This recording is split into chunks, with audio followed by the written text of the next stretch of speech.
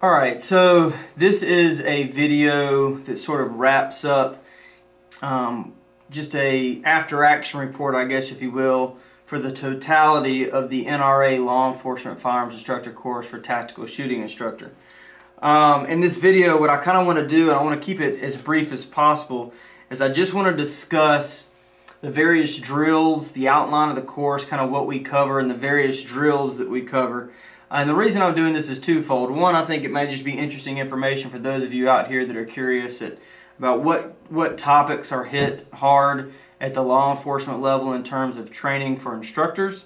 Uh, it kind of gives you an idea of what, what we go out there into the field and then train officers on. And also for those of you that may be out there searching for information about this particular school, it gives you some idea of what you might want to brush up on in terms of your instructing ability and obviously your own personal performance in these topics. So uh, what I'm going to do is kind of start out uh, with, I've got the, the daily shooting schedule for the course and then I've got the, what we uh, the proficiency assessment and drill completion sheet and this is just what we are all coached aim coach on and we have to demonstrate proficiency and the ability to do and to to coach these things so day one started on Monday with an orientation and we rolled right into a review of handgun marksmanship and handling you know once again we're expected to, to know this stuff at a high level going into these courses but they do need to see with their own eyeballs that we didn't fake the funk on paperwork and show up not knowing what we're doing. Um, we went through coaching and firearm safety and how, how, how the safety rules apply from a coach's perspective, and that's more the one-on-one uh, coaching uh, methodology in these schools where you pair up and, and you coach each other on these various tactics. We took a lunch and then we came back after lunch and we covered uh, handgun range work. We reviewed the handgun fundamentals, malfunctions, trigger control, trigger reset, flash sight fire, two-shot draws, 21-foot reaction drill, shoot and move with the handgun, challenge command, so giving challenges uh, upon weapon presentations, speed reloads, uh, multiple target, and then the vice president's drill. So uh, that'll roll us over here to day one with the handgun. These are these are the dry fire stuff that we did uh, with both with primary and supported hand shooting, standing and shooting stance. Pretty basic stuff there. Obviously, the four-step draw. The NRA Law Enforcement uh, Division teaches it what they call a four-step draw, four-count draw. Same thing I learned in the Marine Corps that we called a five-step draw. In the Marine Corps, it's one, you grip, grab the weapon, one, two, three, four, and five is your presentation. That's the five-step draw. The four-step draw is the same thing, but they, they, they think of it like this. One, two, three, actually, I'm sorry. One, two, is both of these movements, then four and five. So Marine Corps way, I have a, I'm untraining myself here. One, two, three, four, five. NRA law enforcement, one, two, three, four. So they're just blending uh, two and three in their methodology. And then obviously doing that uh, strong hand and support hand. then we went into um, grip, holstering, that kind of stuff. Once again, all this is primary and support hand. Combat follow through, down and scan, so acquiring that front sight after your, your last uh, intentional shot, and then do whatever scanning procedure you have to do to say situation aware. Talked about the ready position, you know, in the Marine Corps is alert to the dirt, high ready, and then on target. And there's also the high ready position and high ready. You see a lot of people talking about, you know, should, and I'm just showing this with a handgun because is what I've got here, but you know, should, should I be ready like this? Not this Charlie's Angels garbage, but should be high ready like this or some sort of position Sul, low ready. Um, and it really depends on the environment and, and, where people are and aren't and, and where you're at. So um, loading and unloading, tactical reloading, immediate action, tap rack ready. They don't like us saying tap rack bang because as instructors we may be putting it in the idea that as soon as you do that malfunction you're going to fire again and the situation may dictate that that's not appropriate. And then we did feedway clearances. And then we went into live fire, trigger reset drills, flash sight fire. For those of you that don't know what flash sight fire is, as you're bringing a weapon up into your and either out from a draw or up from a ready position as soon as you become aware as you look at the target that that front sight is now visible you break to the trigger and start uh, dropping that shot. And theoretically by the time your brain can process that drop into the trigger and engaging the trigger you've moved up high center mass with a flash sight fire. Two shot draw drill uh, 21 foot reaction drill demo and then shoot move and communicate we went through challenge commands with live fires, speed reloading drills, and then the vice president variant drill. So what we did, uh, I believe we did it at 10 yards. Uh, you're actually facing the target. You've got three targets. We draw and fire one, two, one, two, one, two, and then a combat reload or speed reload where the magazine hits the deck, retrieving a spare magazine or you know whatever you're doing, rack and actually kind of use my, my offhand thumb to to manipulate the slide release, back on target, one, two, one, two, one, two, from duty holsters and all that kind of stuff. Uh, my time on that was a 781, which was good for a win in the class. Uh, day two, rolled over to Tuesday. We reviewed day one's training uh, and knocked out the proficiency sheet. We reviewed long gun marksmanship and handling. Uh, once again, expected to do this kind of stuff for a living, but they want to see that we know what we're talking about. NRA programs. They talked about instructor application, some administrative stuff. I came back from lunch and did long gun range work. Range work. So long gun, long gun handling fundamentals, stance check, trigger reset, long gun to handgun transitions, shoulder transitions. Um, going to talk about shoulder transitions, if you're a right-handed shooter and then you need to find yourself on a left side, you know how would you do that? And there's there's multiple ways to do that. My, my way is to go, and I'm typically carrying a single point sling, so this is pretty easy to do. Rock shoulders, replace grip, come in the pistol guard, and if I don't have an ambi selector, I keep my left thumb on the left side of the pistol grip. So we did all that. um, position shooting, so various positioning, different kneeling, different sitting, prone, supine, that kind of stuff. Body armor, talking about how to how to present body armor to the threat depending on where you are in the environment if possible, how to shoulder and swap and do all that kind of stuff considering your body armor, and then we worked on multiple target drills.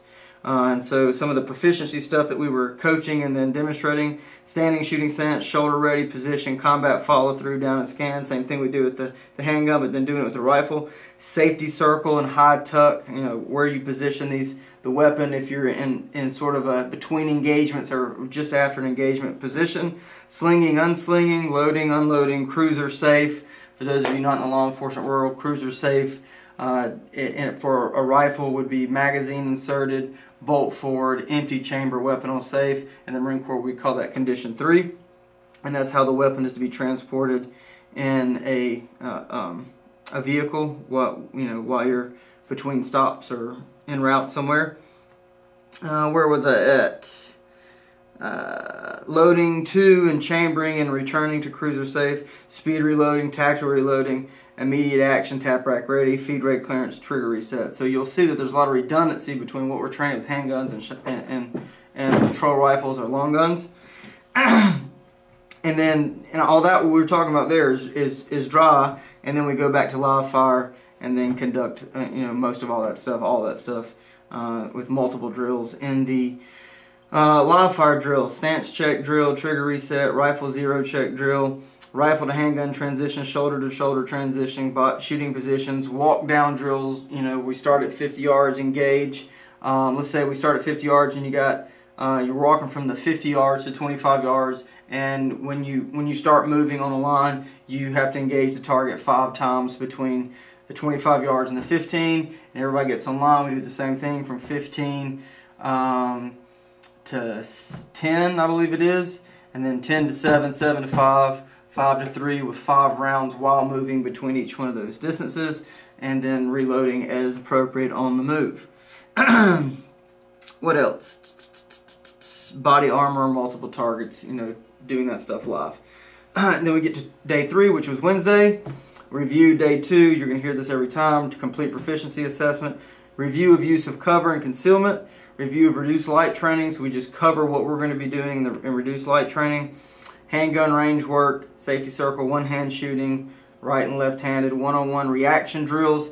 That's basically, this was a really interesting drill where we'd pair up in, in, in pairs and you'd have a guy over here and a guy right here and we're at various distances, three, five, seven, ten yards.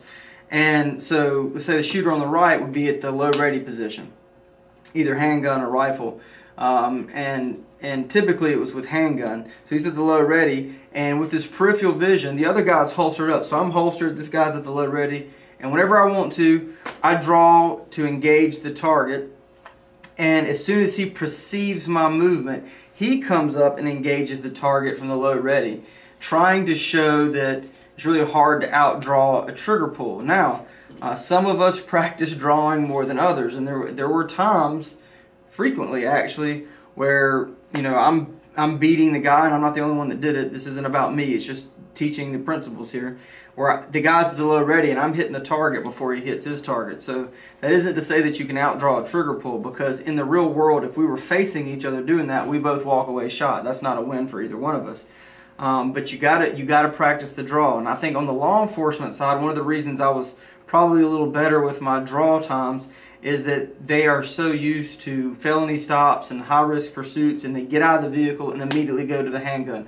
Or they're clearing a building, they have the handgun in their hand. And in the private world, being on defense, you know, we don't have that luxury as often as as um, public officers do. So we're, we're, our reaction times really honestly have to be faster for us to have the same fighting chance. So really, really getting those draw times down is beneficial. Um, so that that's an interesting drill, and it's a way to simulate almost like a, a, a shootout, if you will, a, a, you know, walk ten paces and turn around and shoot at each other, and and it, to do that um, and simulate that with each one of you shooting at a target uh, is is pretty interesting. Uh, where were we at? One-on-one reaction drills. Went to lunch handgun range work when we got back from lunch pivot shooting shooting from pivoting positions you know right and left handed and around different size barricades up down low and all that kind of stuff. Handgun shooting on the move contact distance shooting evade draw fire use of cover drill contact and cover drills. Um, in day three handgun rifle we went live on these specific drills. There's lots of stuff in addition to what we're, what we're covering on the sheet uh, but safety circle stuff, one-hand shooting, static, and victim control, uh, one-on-one reaction drill, which we talked about, pivot shooting, handgun and rifle, shooting on the move with a handgun like we did in the rifle the day prior, contact distance shoot and evade, and contact and cover drill. Roll over to day four, uh, Thursday, review of day three training. Once again, long gun range work, long gun shooting on the move, lateral movement drill, cover to cover, patrol team movement, multiple target perimeter drills, long gun speed and accuracy drill, and then we do the vice president with the rifles, um, like we did with the pistols the day prior. Went to lunch, came back, start covering handgun and long gun, unusual shooting positions using chairs. We simulated airline type stuff. Uh, talked about that. It even covered being off duty or concealed carry at a restaurant and how to manipulate the table and chairs and get people behind you and find uh, the proper angle to get to, to address the threat and then get to cover or concealment. And then ground drills went to uh, went to dinner and came back and did night fire stuff. Handgun and long gun incapacitation. We actually didn't do that that day. That was we did that the final day where you're you know it's all um, you know we use snap caps and stuff inside a classroom, but completely immobilizing one arm and manipulating all the all the failure drills, all the all the stuff that we have to do uh, reloading and, and addressing failures, and then going weak hand and doing that. And I'm telling you, locking the bolt to the rear and doing a double feed with only your left hand is an interesting prospect if you don't try train it very often. And there were some some people that obviously I think that's the first time they'd done that in the class, even at that level. And then we did reduced light range work, handgun and long gun flashlight techniques, long gun shoot and move, handgun patrol team, lateral drill, long gun pivot and advanced drill, long gun critical function drill, cover drill, aided and unaided handgun shooting, blinding drill, that's where they shine a flashlight in your face, and and they basically everybody lines up your face down a target and, the and instructors walk from each corner blinding you in the face with you know 500 to 1000 lumen flashlight and as soon as you can perceive the target you're allowed to shoot and you can kind of hear that delay as people start to to come back from that light blindness and, and engage the target. And then you do that again being able to use either a handheld or a weapon mounted light depending on your platform Uh, and you see how much faster you're able to overcome that night blindness if you have your own white light yourself. Huh. Handgun critical function drill. So roll over to uh, day four over here, shooting on the move, cover drill, shooting to cover, shooting around cover, withdrawing to cover, lateral movement, uh, cover to cover patrol team movement, moving in pairs, that kind of thing, from, you know, bouncing from cover to cover, that kind of stuff. Multiple target perimeter drill, and then we did the rifle vice, vice president drill, that same thing I was talking about. So, you know, beep, one, two, one, two, one, two, combat, reload, one, two, one, two, one, two. My time with the, the rifle was a 674. That was also a win. Um, unusual shooting positions, that's the chair stuff. Downrange seated, downrange seated and up, shoot and move. Facing right seated, facing right seating and up, shoot and move. Facing left seated, facing left and up, shoot and move um, facing rear seated, left and right response, facing rear seated and up, shoot and move, facing rear seated up to kneeling, facing rear seated up to kneeling to prone. Okay, and then we did ground drills, the handgun, so prone with handgun, supine head up, supine head up range, fire and fight up, supine head left, one hand and two hands, supine head right, one hand, two hands. So we're just talking about how, how are my positions. A straight supine with my feet out towards you on my back, head right would be uh, my head's this way, my body's this way, and I'm sort of shooting from the side. And then obviously head left would be the antithesis of that. Um, prone, head down range, shoot and drill, supine, head down range, shoot and roll. That's where you're shooting and rolling up to a different position, standing or kneeling. And usually it's from a kneeling to a standing, depending on your flexibility. And then an entry team drill. So we set up doors and did, you know, pine off rooms and covering different corners and that kind of thing.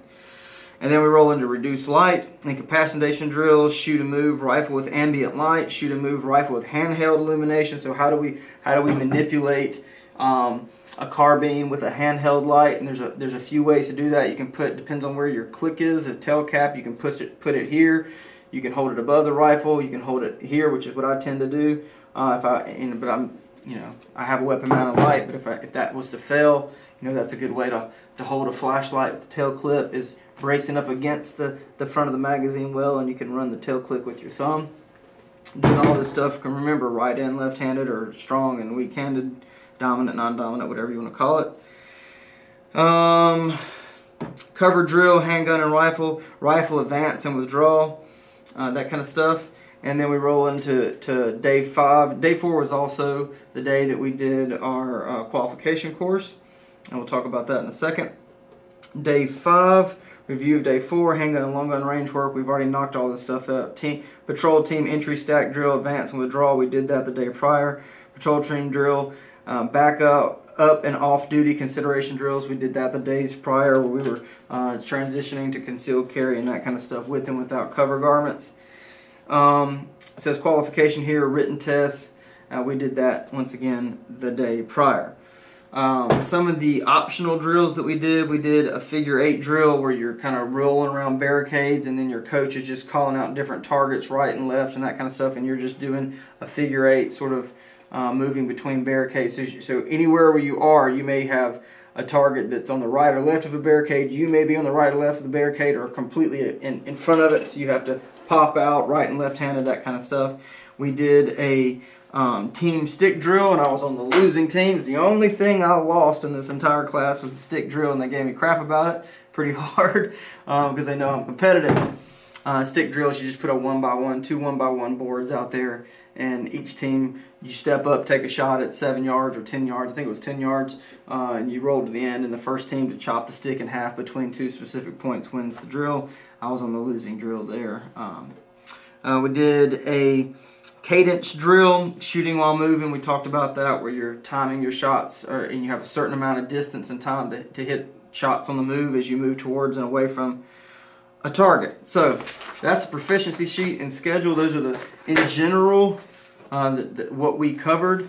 Uh, I am not sure, and I probably should have done this before uh, I sit down in front of this video, um, but I'm not sure if I have a copy of the qualification course in front of me.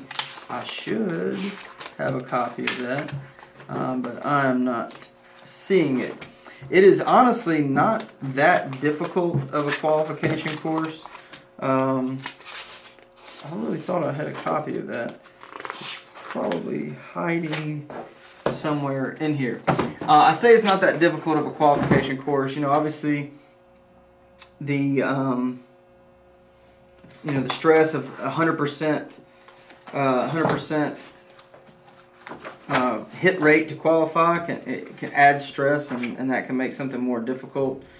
Um, you know, there's a lot of good information in these books. You know, I, they're not just free to the public. You can't go buy them unless you're part of the law enforcement um, division, as far as I know. But if you if you are in law enforcement, you need to contact them and see if you can purchase these. I don't think they'll give you the hard copy book, but they will give you um, these CDs, and there's a lot of good training on how to build courses of fire and that kind of stuff.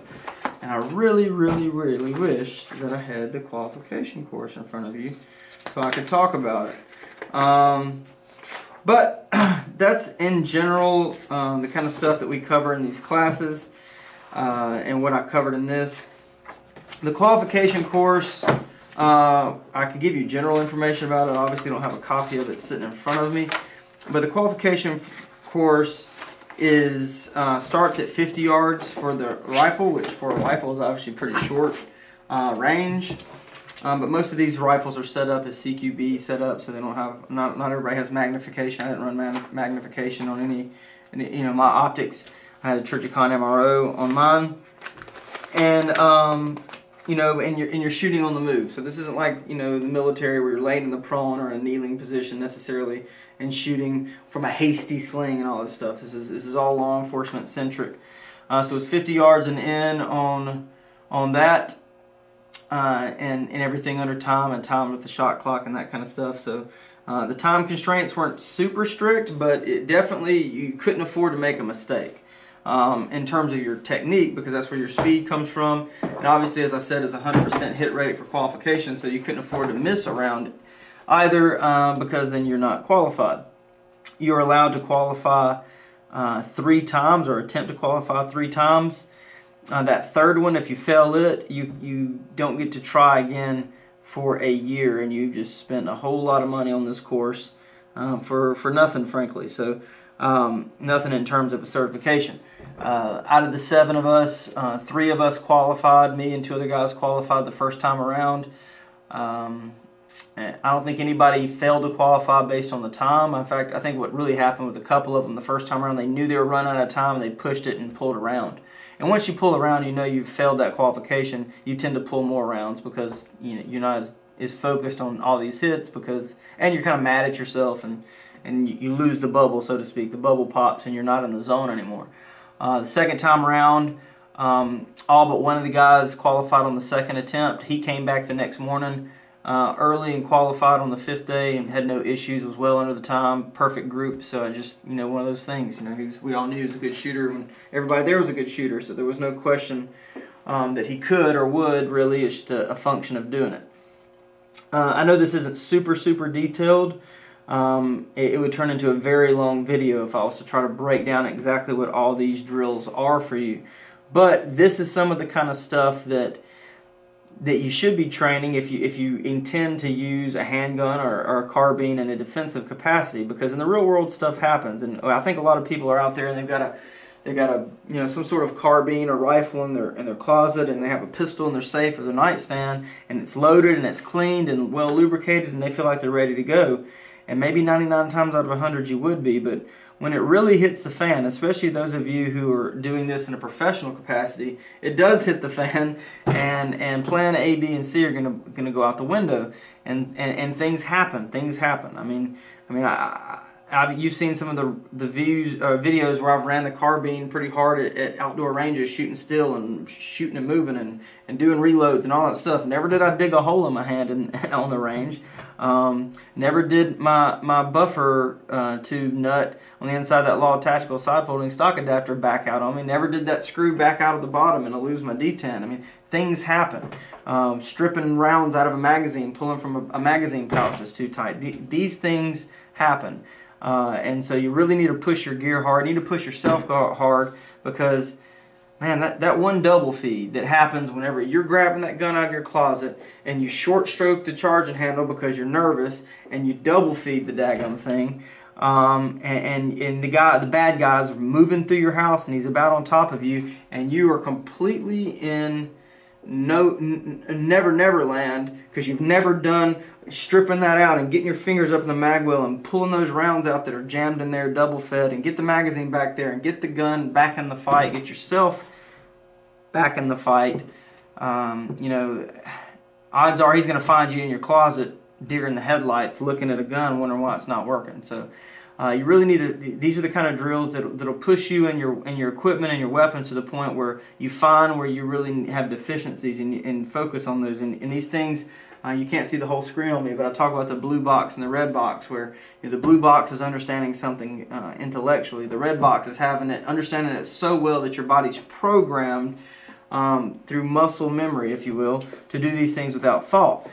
this is the kind of stuff that you really should be able to do without thought if you want to consider yourself ready for the fight. And since we can't define the fight, these are the kind of things that we may have to use in a fight. If you're an instructor, if, you, if you're walking around with one of these on your wall, not only do you need to be able to do this perfectly in terms of presenting it to your students, but you need to be able to do it right and left-handed. Well, it's, it's, you know, we take an AR-15 uh, type rifle you know, yeah, you put bad levers and all this kind of stuff on it, but the reality is it's not an ambidextrous weapon. And how you run this gun right-handed and left-handed, there's a different manual of arms. And if you can't tell a person, all right, here's how I shoot with an AR, I'm right-handed, now you just do all that left-handed. Well, they're going to reach up for a magazine release on this side of the weapon and not find one. Or they're going to look for a bolt hold open here. I mean, it's just, you know, weapons, very few weapons are truly ambidextrous. And so you need to be able to teach. You know, unless you're only going to teach right-handed people that carry a Glock, uh, you know, you, you, need, you need to be able to teach these principles across all platforms, right and left-handed, perfectly. Uh, and and and that's that means you as the instructor really need to get out there and acquire these skills. If you don't have them, in my opinion, you should have them before you call yourself an instructor. Uh, having them and having them perfectly, there's a there's a uh, there's a huge disparity between those two ideas. So practice, practice, practice, practice, practice. Um, you know, I don't not so much probably at the law enforcement level uh, or, or in, in the industry that I work in, but you know, the guys that are out there at your local gun range that are NRA handgun instructor that they got 20 years ago, you know, I'm not begrudging the NRA standards for, for handgun instructors or any instructors on the civilian side of the house, but the reality is, if you're an instructor, are you really putting in the work where somebody can just approach you on the range off the cuff and say, how would you lock your weapon to the rear left-handed if your right arm was completely out of out of uh, out of the fight. You got took a round to the shoulder. This this is just a limp noodle, and now you go from a right-handed person to a left-handed person. You got a double feed. What do I do? You know, if you're going to call yourself an instructor on that weapon system, you need to be able to pick this thing up and explain that and demonstrate it without having to go reference it in a book somewhere. So, um, anyway, if you have any questions about some of the stuff that I rattled through and you want me to show you those drills specifically in detail, uh, just let me know. The, I'm, I'm sort of going to do that anyway. I'm going to systematically work through, you know, I've, I've got a handgun, shotgun, patrol rifle and tactical shooting instructor certifications on the law enforcement level. And one of the things I've considered doing is just taking these proficiency sheets and then and just working through them systematically, putting videos out there on how to do these various drills. You know, what the technique is supposed to look like and then how to train it. And so that'll be something I'll be working on, but that's a lot of stuff to cover. Where, you know, that, that would probably keep me, keep me busy for quite a long time to do those drills justice and, and demonstrate them to you and video it and edit it and all that kind of stuff. So if there's something that you want me to slide to the front of that list um, that you've heard me rattle off or anything, anything that has to do with any of the stuff we talk about on this channel, you know how to get in touch with me. Uh, send me a message. Please, please, please like, say something, comment something, anything. Just leave a comment. Uh, thumbs up the video if you like it. It takes you no time, no money. They don't charge you for doing it, but it does help me out. Um, and then subscribe to the channel if you hadn't and click the little bell where you get notifications. I don't post a bunch of stuff up all the time. Um, there, there, is, there are six videos leading up to this class and going through it where I give a preview of the video and then each day at the end of the day I briefly talk about that day's activities so feel free to go back and watch that. Um, and find me on Facebook, Warrior Works Training. You know what my logo looks like. Uh, if you found your way to this video. So uh, like that, leave me a comment there, talk to me there. It's a good place to keep in touch with me. If, if I was to ever get sniped by YouTube, which I don't think is going to happen, um, but if I was to ever get sniped by YouTube, that would be a good place to stay in contact with me. Uh, if, if you live anywhere near Birmingham, Alabama, and you want to come train with me in person, I do teach classes. Warrior Works is a, is, is a that's what I do with Warrior Works. It's not really a YouTube channel, it's a training company. So I know there's a handful of you out there watching this right now who, who train with me regularly as paying customers, and I uh, greatly appreciate your patronage and your continued support. So, without further ado, see you next time.